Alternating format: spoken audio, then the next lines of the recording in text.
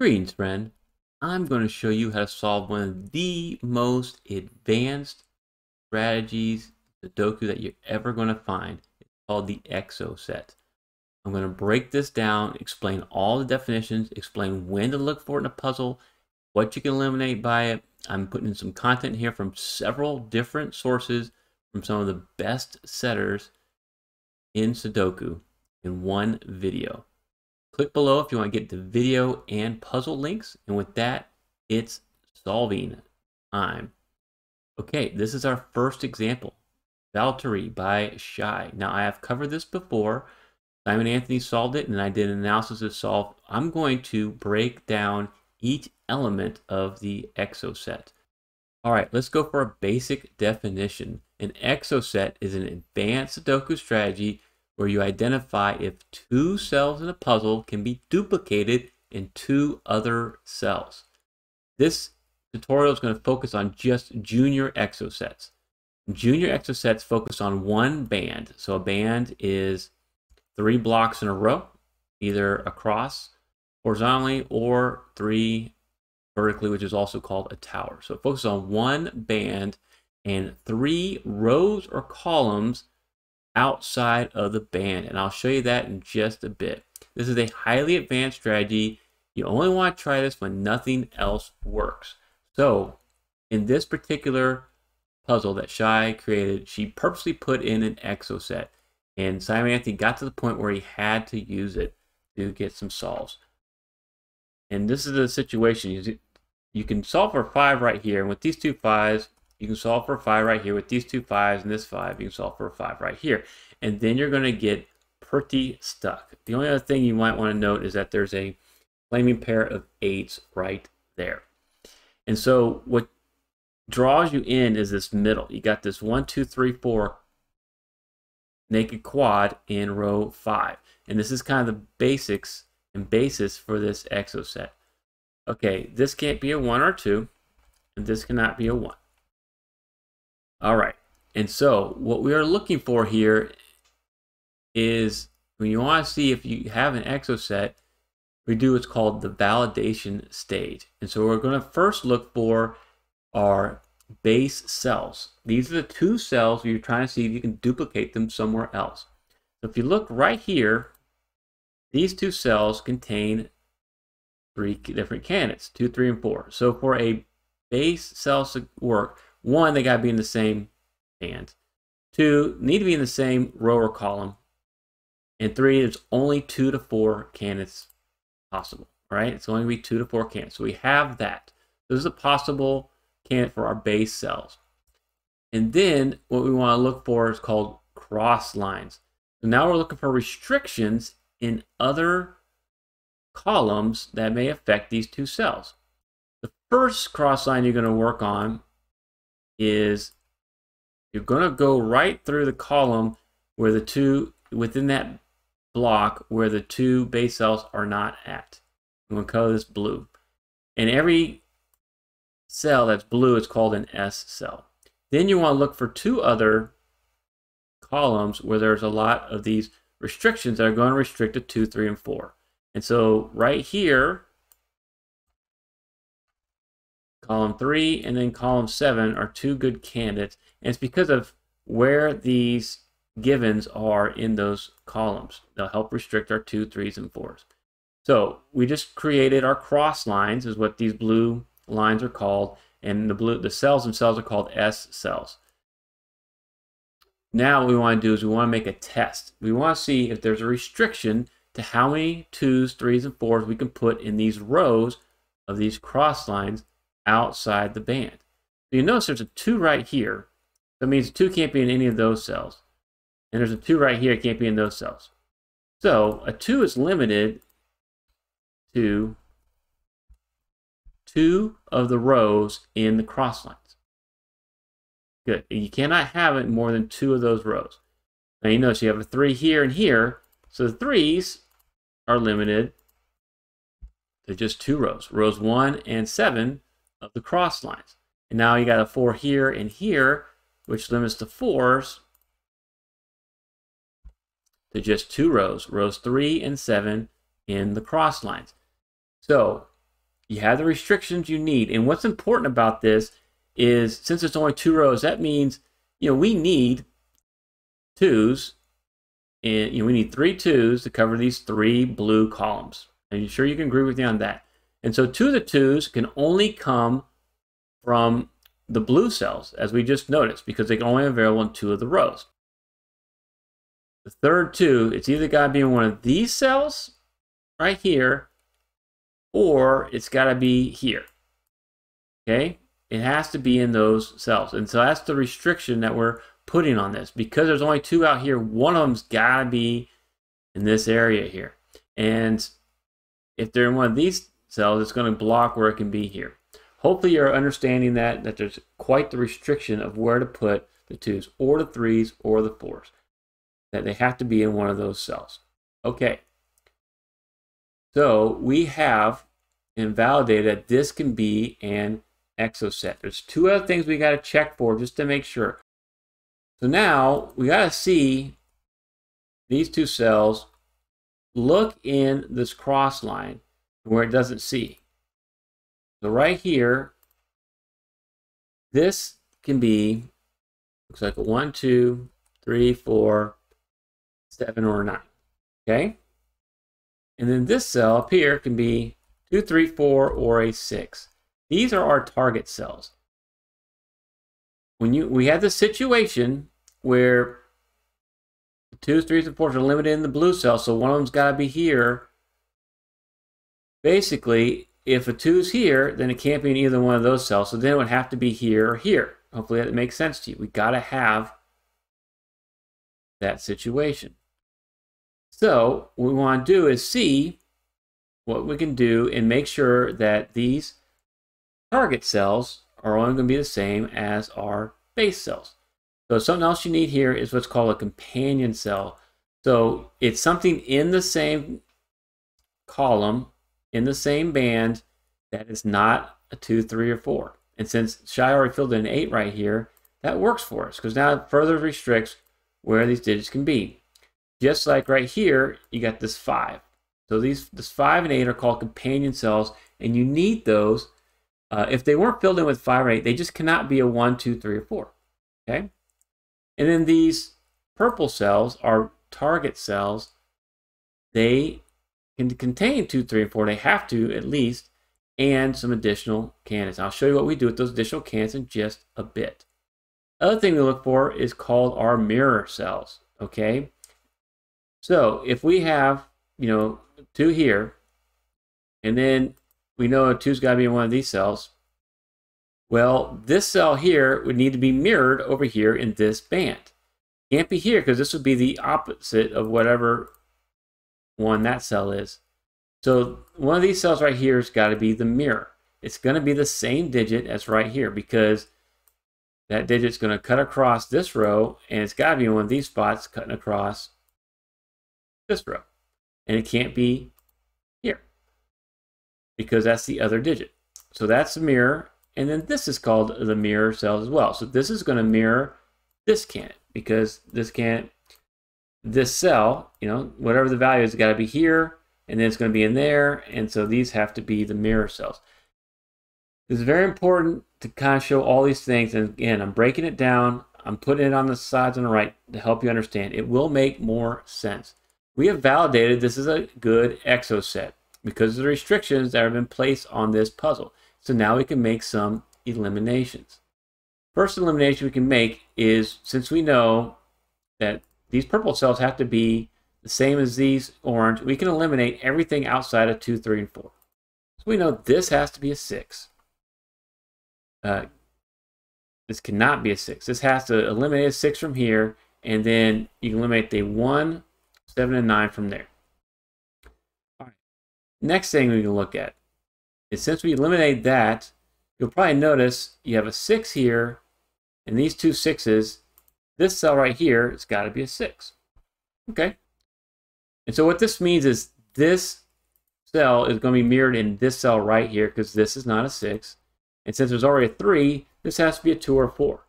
Which tells us now we can actually go back and eliminate the 3 from right here.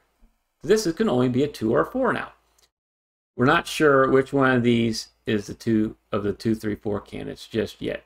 However, since we have the 6, 8 here, and we have the 6, 8 here, we know now that 6 and 8 are limited to these two cells. We can get rid of those 4s. And so with this 4 here, we can actually solve this cell for a 4, which solves this cell for a 2. And remember, this was a mirror of this cell. So now you can solve that cell for a 2, and you can eliminate the 2 from right there and right there. And then you can move on and actually know, well, since this has to be one of these two digits, solve for 2 right there. And then since you have this 3, 4 here, we know the 3 and 4 can't be, the mirror cell can't be this one, it has to be this one. So that can only be a 3 or 4. And then from here, you can go on and do the rest of Valtari. But before I move on to my next example, where I'm going to show you some more great eliminations, I do want you to click on the pin comment below and check out my Buy Me a Coffee page. Please consider supporting me. I use this to help great, create better content. Uh, join the Smarty Party and get some membership packs. I do puzzle packs for some of the greatest setters, also ones that I create myself. That'll give you more value and solve more great puzzles and advanced strategies. Not as advanced as Exocet, but still a lot of fun and some great theming. Click on that comment below. Now, let's move on to the next example.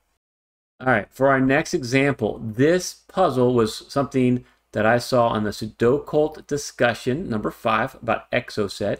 Philip Newman was showing ranks how to apply exocets. And so he comes to this puzzle, which is a brutally hard puzzle. You try to solve this, you're not going to get very far. And but you can make some progress if you find the exocet. And so what you want to look at here, again, is you're looking for some, you know, restrictions. In particular, you might notice that there are quite a bit of the same digits, 4, 5, 6, 7, 3, 4, 5, 6, 7, in these three columns. So that should get you a little suspicious about what we can do. And since one of the columns is right here, now we can look at these two cells as maybe our base cells. So these cells can be a 1, 2, 8, or 9. So they're in the same row, they're in a band, no more than four candidates, two to four candidates, so these are potential base cells. Now we want to see if we can duplicate these cells somewhere else here in this band. Again, we have a lot of these digits here in this column. So we're going to look at that as a cross line, and then we're going to look here in column 3 for a cross line. You'll notice now that the available cells are limited to rows 1, 2, and 7, in these three columns, columns 3, 5, and 8. Okay, now we want to look and do our test for this 1, 2, 8, 9. Do they only appear in two rows outside of the band? And so the ones, you'll notice because there's a 1 right here, it can only appear in these two rows, rows 2 and 8. So that's easy. The 2, 2's right here, can only appear in most two of the rows right there. The 8, you'll see right here, and the 9 cannot be in any in this row 8 anymore.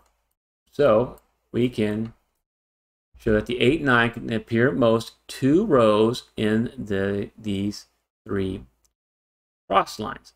Okay, this means that there's a restriction on the 1, 2, 8, 9 where one of those has to be in these cells here. All right. So we have validated and go, yes, this is a good potential. This is a setup for an exocet.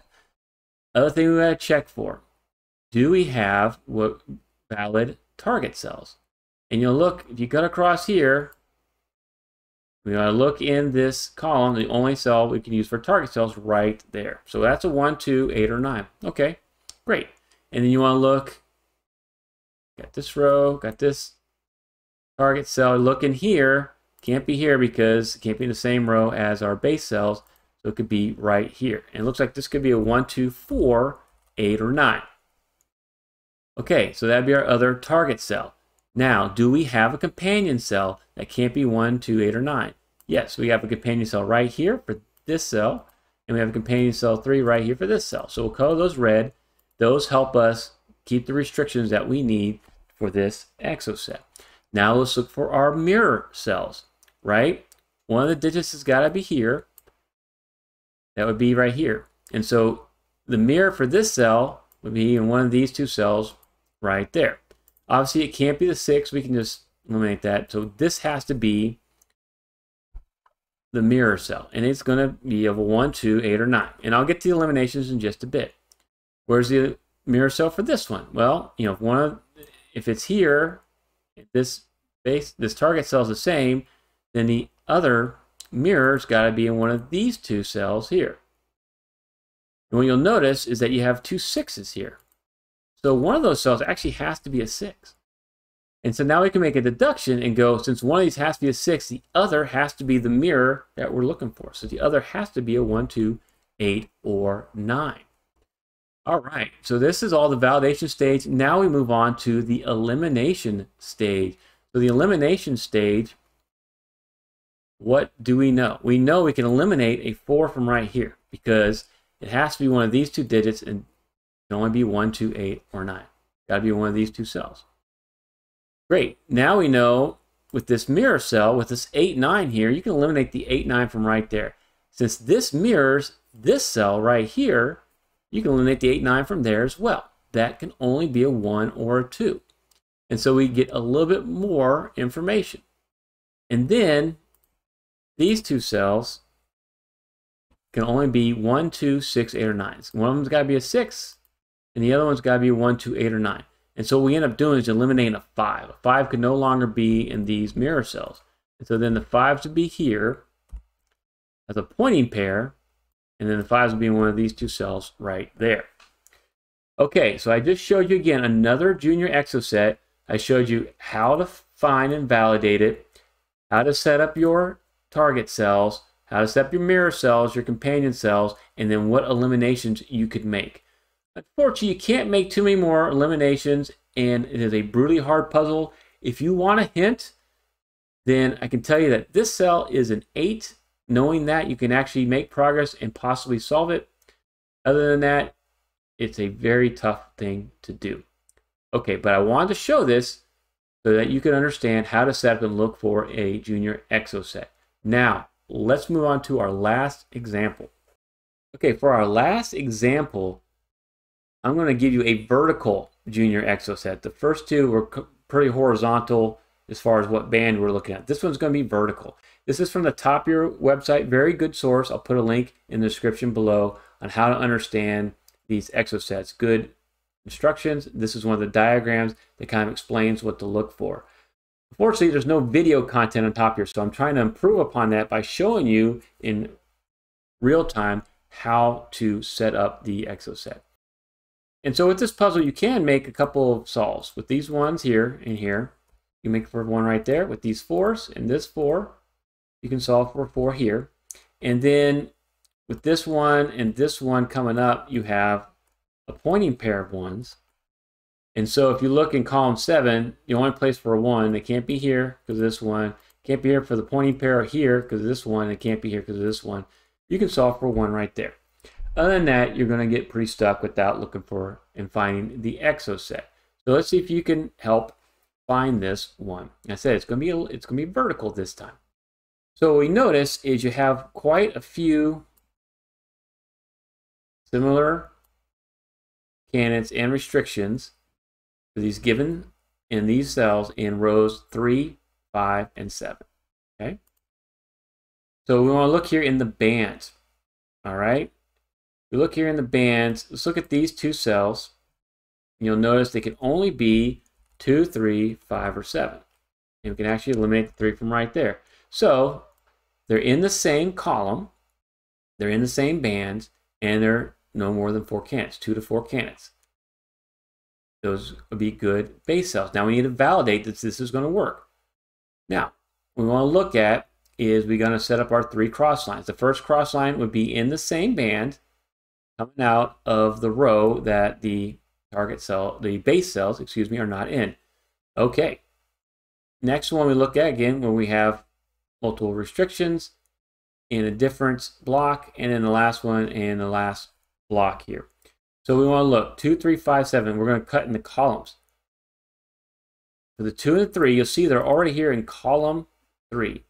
So at most, 2 and 3 can be in two columns in our cross lines in these S cells. So column 4 and column 6. 5 is right here. So the 5 can be at most two columns, columns 3 and 6.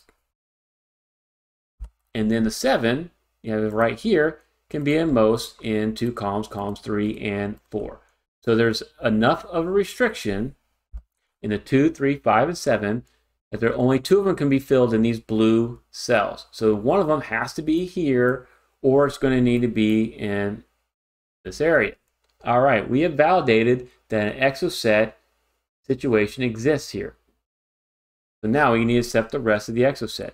What's going to be our target cells? Since the 2, 3, 5, 7 are in column 8, we look here in this row and go, okay, it's got to be one of these.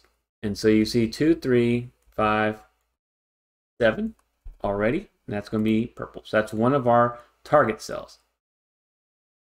The other target cell is going to be in the other block of the bands in the same cross line. All right, and so we look right here, we go, this can be a 2, 3, 5, 7, or a 9.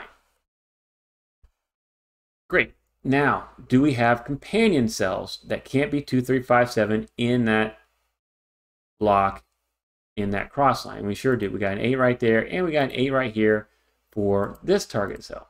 So I'll put those in red. Basically, it prevents 2, 3, 5, 7 from being in those two cells. We're good to go there. Now let's look at our mirror cells.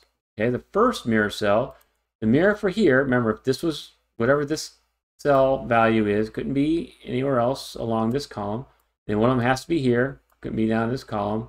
And it can't be here because this is the other target cell. So this would be your mirror. Okay? And right now you can see that it could be a 2, 3, 5, 7, or 9. And then we look right here and go, this would be the mirror for this target cell. So that could be 3, 5, 6, or a 7. All right, and so we put those mirror cells in our green. Now we've done the validation. We're going to do our elimination stage. First thing you want to do is our target cells can only be 2, 3, 5, 7. So we can eliminate a 9 from right there. Great. Now, we can look at our mirror cell.